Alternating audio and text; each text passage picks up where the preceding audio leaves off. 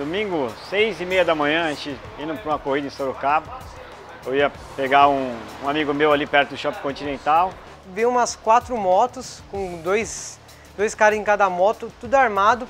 Rendeu a gente, parou o carro, tirou a gente do carro e levou tudo. Levou carro, bike, tudo, deixou a gente sem nada. Não tive reação nenhuma de, de querer me defender nem nada, só levantei a mão, botei a mão na, na cabeça assim, fui saindo devagar. Mesmo assim, o cara ainda me chutou, tentou me chutar a cara, mas pegou no meu braço, que eu tava aqui. A sorte que eu tava com a mão aqui, então pegou aqui. Consegui imaginar que podia vir alguém, assim, seguir a gente, ainda mais quatro motos, tantos caras armados. Então foi aquela, aquele estresse bem pesado mesmo pra gente.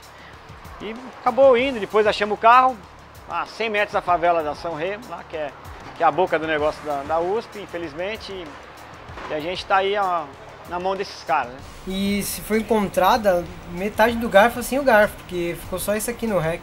Tem o foco, tem o lugar, sabe quem são, aonde estão. Eu acho que o governo tem que tomar uma atitude.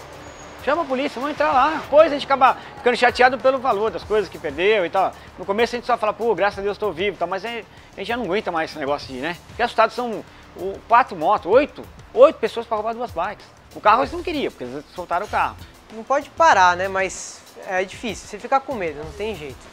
Vou mexer, se o governo fazer nada, juntar aí loja de bicicleta, fabricante, é, importador, sei lá, criar um cadastro, entendeu? Cada corrida, cada evento que for fazer, o cara vai ter que colocar o nome da bicicleta, o número do quadro, entendeu? E a gente fazer um cadastro de bicicleta que está andando, que está rodando.